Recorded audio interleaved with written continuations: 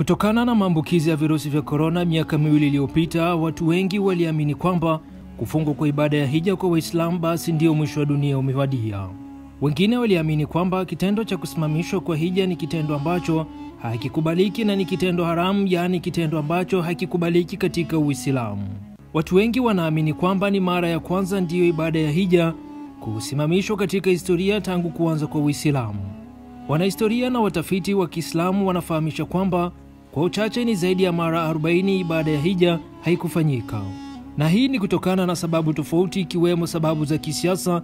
Kama tunavyofahamu, siasa huwa ikiingilia vitu tofauti katika jamii, ikiwemo pia majanga ya asili, maradhi, usalama mdogo kwa mahujaji wanapokuwa safarini, matatizo ya kiuchumi na kadhalika.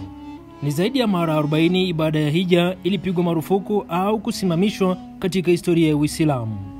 Tukufahamisha matukio tofauti na nyakati tofauti ambazo ibada hiyo haikufanyika. Mwaka 865 ibada ya hija ilisitishwa kutokana na mauaji ya maelfu ya mahujaji katika mlima wa Arafa, eneo maalumu, wakati wa kutekelezwa ibada hiyo.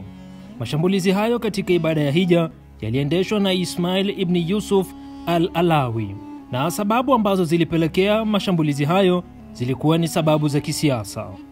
Uamuzi wa kusitishwa kwa ibada ya hija ulichukuliwa wakati ambapo mahujaji walikuwa tayari katika mlima huo wa Arafa. Mnamo mwaka 930 kundi linalojulikana kama Karamit liliiba jiwe jeusi linalopatikana katika msikiti wa Maka. Msikiti ulivamiwa na Waislamu waliokuwemo waliuawa. Jiwe liliibiwa na kurejeshwa baada ya miaka ishirini na mbili. Ni jiwe jeusi ambalo linapatikana katika Alkaba. Unaweza kujiuliza kwa nini walifanya kitendo hicho. Waliiba jiwe hilo kwa sababu tu walikuwa wakiamini kwamba hija ni ibada ambayo ilikuwepo kabla ya Uislamu, hivyo basi Waislamu hawana haja ya kutekeleza ibada hiyo ambayo wao wanaamini kuwa ni ya kipagani.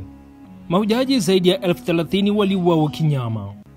Mnamo mwaka 317 baada ya mtume kurejea Maka katika kalenda ya Kiislamu, Abu Tahir mfalme wa Bahrain na kiongozi wa dhehebu la Karmit alivamia mahujaji na kuchukua jiwe jeusi na kulipeleka katika eneo la Kataf. Alitaka kuiba pia kijisanduku ambacho kimehifadhiwa michoro ya nyayo za Nabii Ibrahim, baba wa imani. Mwaka uliofuata wafuasi wa dhehebu hilo Karmit walitaka hija ihamie katika mji wao. Waislamu waligoma, baadhi yao waliuawa. Mfalme huyo aliwaendeshea kipigo kisichokuwa cha kawaida. Mnamo mwaka 983 wakati wa ukhalifa wa Ibn Abbas na Ubaid, imeripotiwa kuwa hakuna hujaji yoyote kutoka Iraq aliruhusiwa kudiriki hija Maka.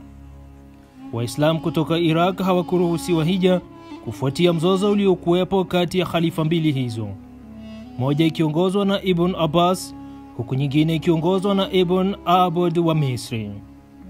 Mzozo huo ulichukua muda wa miaka minane. Mahujaji kutoka maeneo mengine isipokuwa Iraq ndio ambao waliruhusiwa kudiriki ibada hiyo ya hija. Mnamo mwaka 1253 mahujaji kutoka Iraq waliruhusiwa kudiriki hija baada ya kuzuiliwa kwa muda wa miaka kumi. Mnamo mwaka 1257 hakuna hujaji yoyote kutoka Hijaz aliruhusiwa kudiriki ibada ya hija. Tukiachana na sababu ambazo ni za kibinadamu ikiwa pamoja na sababu za kisiasa na jamii, mnamo mwaka 1814 mwaka huo takriban watu elfu nane walifariki kutokana na maambukizi ya ugonjwa wa tauni katika eneo la Hijaz.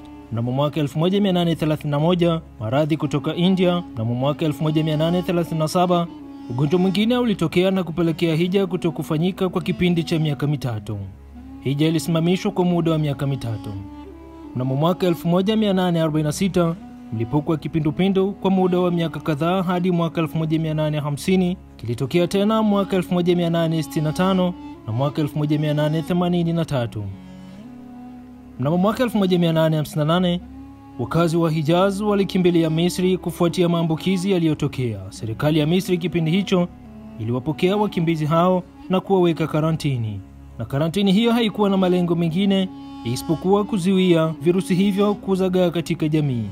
Mnamo mwaka 1864 mahujaji wasiopungua elfu moja walikuwa wakifariki kwa siku kutokana na virusi. Miili ya mahujaji waliofariki kutokana na kipindupindu iliyohifadhiwa bila ya kuheshimu mazingira ilipelekea kuongezeka kwa idadi ya vifo. Nyakati nyingine ikiwemo mwaka 1895 sababu ambazo zilipelekea baada ya kusitishwa hazikufahamishwa. Ni sababu tofauti ikiwemo sababu za kisiasa, kiusalama na kiafya ndiyo sababu ambazo zinapelekea eneo hilo takatifu kuweza kufungwa ili mahujaji wasiweze kudhurika. Kyata Online, subscribe chaneli yetu, tuna mengi kukuletea.